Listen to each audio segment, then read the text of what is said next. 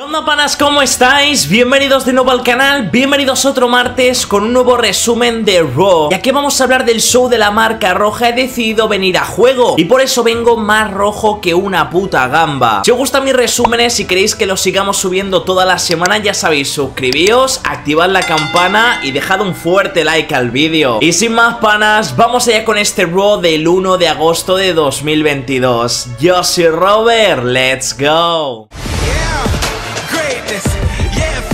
Desde Houston, Texas, Becky Lynch abría este programa de Raw posterior a SummerSlam y el primero dirigido al 100% por Triple H. Big Time aparecía con un cabestrillo, confirmando su lesión en el hombro durante el combate de SummerSlam. El público la ovacionó en todo momento y la luchadora se mostró muy agradecida. Dice que luchó pese a su dolor en el hombro y que lo hizo por la división femenina. También agradece a Bianca Belair por ser la culpable de impulsar usarla durante el último año. Y precisamente la campeona femenina de Raw aparecía muy emocionada por las palabras de Becky Lynch y tras reconocerla como D-Man se dieron un más que sincero abrazo y Becky Lynch se despidió de todo el mundo por unos meses. Me gustaría recalcar lo mucho que están afectando este año las lesiones en WWE. Además que siempre llegan en el momento más inoportuno para el luchador. Solo hay que ver los casos de Randy Orton Cody Rhodes o Becky Lynch. La campeona agarraba el micrófono y dice que siente mucho respeto por Becky Lynch y que ha aprendido muchísimo de alguien tan grande como ella. Por la pantalla podíamos ver como Bailey, Dakota Kai e Io Sky estaban atacando a Big Time Bex en el backstage. Obviamente Bianca Belair salió corriendo pero nada pudo hacer, ya que las tres luchadoras ya habían desaparecido. El primer combate de la noche se trataba de una triple amenaza entre AJ Styles, The Miz y Mustafa Ali. El ganador de este combate pelearía más tarde contra otro ganador de una segunda triple amenaza y de ahí se decidiría el nuevo aspirante al campeonato de los Estados Unidos. Por fin parece que dejaremos de ver eso de que el aspirante deba derrotar al campeón para obtener una oportunidad titular, es algo que siempre he encontrado súper ridículo. Encima en el día de ayer tuvimos dos triples amenazas, que bajo mi punto de vista es una de las estipulaciones más entretenidas que suele preparar WWE. Vimos a un Demis lastimado, con un poquito de vendaje tras esa intensa lucha con Logan Paul en SummerSlam. Un AJ Styles que sin lugar a dudas partía como claro favorito y Mustafa Ali, que regresaba a la televisión de Raw tras aparecer únicamente en Main Event. El combate estuvo notable, me gustó muchísimo la química entre los tres luchadores y cómo enlazaban llaves al conjunto. Demis pudo rozar la victoria tras aplicar ese Skull Crashing Finale a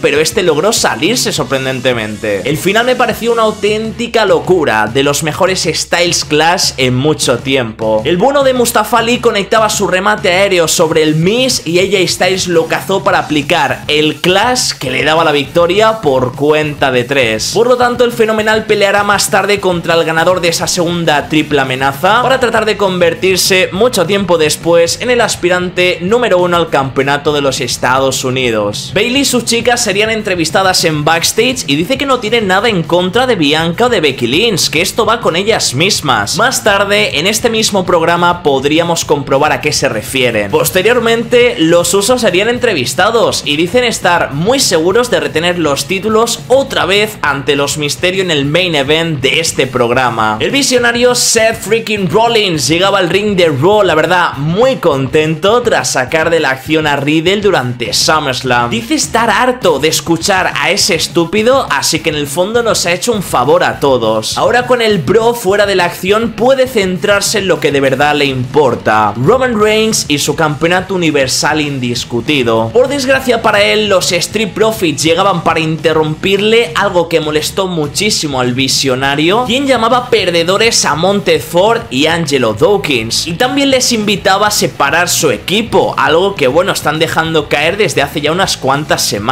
Los Street Profits empezarían a burlarse de Seth Rollins, recordando sus victorias en el pasado y cómo él cayó derrotado ante un Cody Rhodes que peleó lesionado. Seth Rollins lo reta a un combate individual, así que los Street Profits decidieron el participante mediante un piedra, papel o tijeras. Pero Montefort fue el más listo del grupo, ya que salió corriendo hacia el ring para disputar ese combate con Seth freaking Rollins. Obviamente la elección de Montefort era sin lugar a dudas la más adecuada, sin menospreciar a Angelo Dawkins, pero es con diferencia el mejor de los dos. El combate me pareció bárbaro, de mis favoritos del día de ayer y eso que la competencia estaba bastante bastante alta. Montefort empezó muy directo y agresivo, una actitud que ya vimos en SummerSlam, y tras caer derrotados contra los Uso, buscaba con mucha ansiedad una victoria en este programa. Aunque delante tenía al que seguramente es el mejor luchador de toda la empresa, por lo que la tarea desde luego no iba a ser sencilla. Tuvimos acción de todo tipo, fue la muestra de que los shows a partir de ahora van a darle más tiempo y sobre todo más valor a los combates, algo que hace años que se había perdido. Seguramente tengamos menos luchas en los programas, pero de mayor duración y como dije antes, y muy importante, valor. El bueno de Montefort estuvo dando guerra hasta el final del combate, pero tras un intercambio fallido de Frog Splash, sería Seth Rollins quien logró conectar su pisotón y la cuenta de tres para llevarse la victoria. Desde el Royal Rumble de este año, Seth Rollins nunca se ha quitado de su cabeza Roman Reigns y en el día de ayer nos lo volvió a recordar. Después de formar equipo y de participar en combates rodeadas de luchadoras de la baja cartelera, Alexa Bliss y Asuka iban a tener un combate mano a mano. Recordamos las declaraciones de ambas luchadoras antes de SummerSlam, especialmente Alexa Bliss, quien estaba bastante decidida a ser la retadora número uno al campeonato femenino de Raw. Con la llegada de Bailey y sus chicas, la cosa se le ha complicado bastante, por lo tanto va a tener que currárselo para ello. Precisamente Bailey va a darnos una muestra de todo lo que habló en el backstage. No tienen nada en contra de ninguna luchadora en concreto, sino que esto lo hacen por ellas mismas, para ganarse las oportunidades. Y es que las tres entraron para interrumpir la lucha y atacar sin miramiento alguno a Alexa Bliss y Asuka. La campeona Bianca Belair salió al rescate se hacía oficial una lucha con Illo Sky para esta misma noche. Ahora se venía esa segunda triple amenaza, de la cual saldría el rival de AJ Styles para más tarde y de ahí se determinaba el nuevo retador a Bobby Lashley. Los protagonistas del combate eran Dolph Ziggler, Champa y Chad Gable. La verdad que todos me parecían grandes opciones. El peor parado resultó Dolph Ziggler, ya que al ser el único luchador face del combate, tenía a los otros dos aliados en su contra. Una alianza que desde luego no duró demasiado. La fuerte personalidad del pelado tuvo la culpa. Este combate fue sin lugar a dudas la mejor carta de presentación de Champa desde que forma parte del roster de Raw. Nos recordó a su mejor versión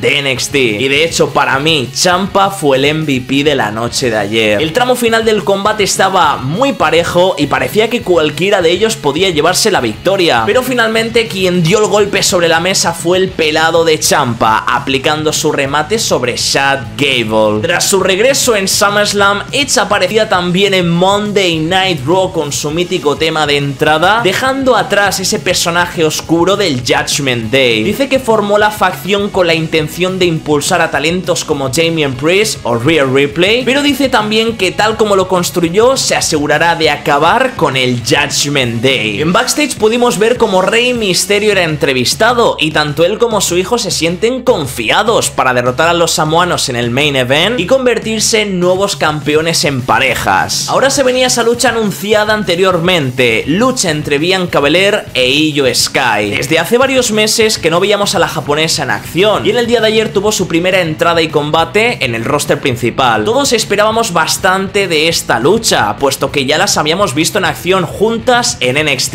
y sabíamos de todo lo que eran capaz de ofrecernos. Honestamente, no decepcionaron. Pienso que el combate no se acercó ni mucho menos a la excelencia, pero para ser en un programa de Raw estuvo muy muy bien. Sentí eso sí a Bianca Belair muy superior, pero es algo que se transmite en prácticamente todas sus luchas. Físicamente, atléticamente, ese poderío de Bianca Belair es ahora mismo inigualable. Tuvimos a Bailey Dakota Kai en ringside tratando de distraer constantemente a la campeona y de hecho ellas serían las protagonistas ya que entraron a interrumpir nuevamente el combate, el cual terminó por descalificación. Y por supuesto entraban Asuka y Alexa Bliss para devolverle el favor a Bianca Belair. Lo que no cabe duda es que el trío de Bailey, Dakota Kai e Io Sky tiene un potencial infinito y es una tremenda decisión por parte de nuestro nuevo jefe creativo Triple H. Habíamos llegado al pre-main event y quinto combate de la noche, con AJ Styles y Champa como protagonistas. Todas y cada una de las luchas de este programa tuvieron valor, resultaba importante,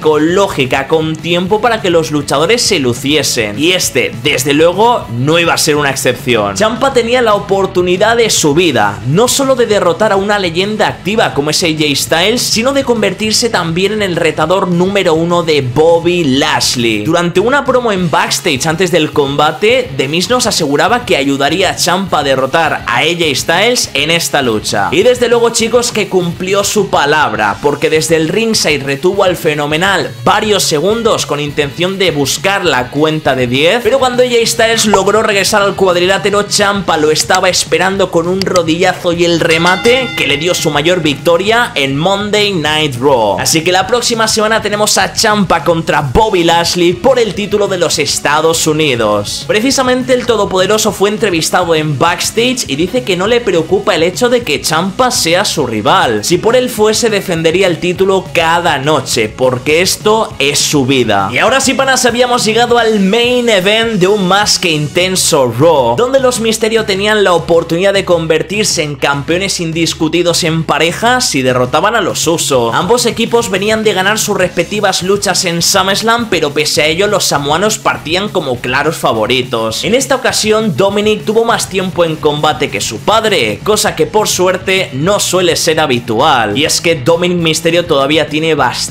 cosas que pulir. El combate no tuvo nada espectacular, pero tampoco le hizo falta, cumplió con lo que debía hacer y punto. Tras rozar la victoria, los Misterio, o mejor dicho, Dominic recibió el 3D de los Uso y con ello la cuenta de 3. Posterior al combate aparecía el Judgment Day al completo para atacar brutalmente a los latinos, quienes fueron rescatados un poquito a medias por Edge. Digo a medias porque por error aplicó su Spear a Dominic Mysterio y posteriormente salió por patas entre el público para perseguir a Finn Balor. Y con esta imagen cerrábamos este show de Raw posterior a SummerSlam 2022.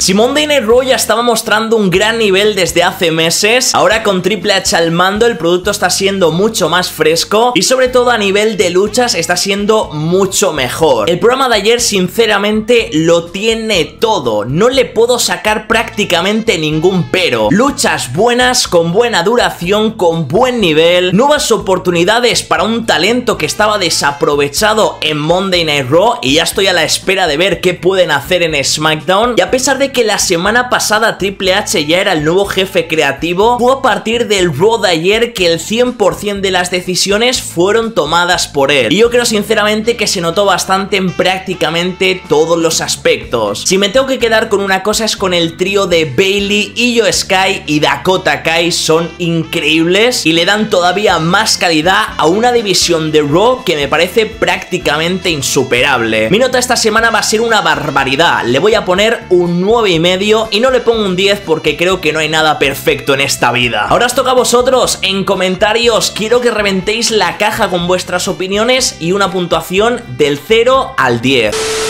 Por mi parte, panas, dejo el vídeo por aquí. Espero de corazón que os haya gustado. Como siempre digo e insisto, si os gustan mis resúmenes y mi contenido, me ayudáis un montón suscribiéndoos, activando la campana de notificaciones y dejando un fuertísimo like. Antes de irme, como siempre, mando un fuerte saludo a los últimos miembros del canal. En el día de hoy el saludo va para Eduardo López, para Adrix, para Ángel WW, para Gonza y para Fadi Under. Muchísimas gracias por el apoyo, chicos. Si vosotros también queréis un saludete en el próximo vídeo del canal y también de disfrutar de todas las ventajas de la membresía, en la descripción de este vídeo os he dejado un enlace para haceros miembros del canal con tan solo un par de clics y ayudar también a que podamos seguir subiendo contenido todos los días. Además estaréis participando en sorteos exclusivos para miembros todos los meses del año. De corazón, a toda la gente que apoya el canal, muchísimas gracias. Y ahora sí para me voy, pero nos vemos mañana o quién sabe si más tarde con más contenido aquí en el canal. Si queréis ver más contenido del canal aquí en pantalla, os dejo otro vídeo recomendado que os va a gustar bastante. Y también súper importante, tenéis el botón de la suscripción. Estamos súper cerca de los 200.000 suscriptores, así que ya sabéis, suscríbanse. Y sin más chicos, que tengáis un muy buen día, un saludete y adiós.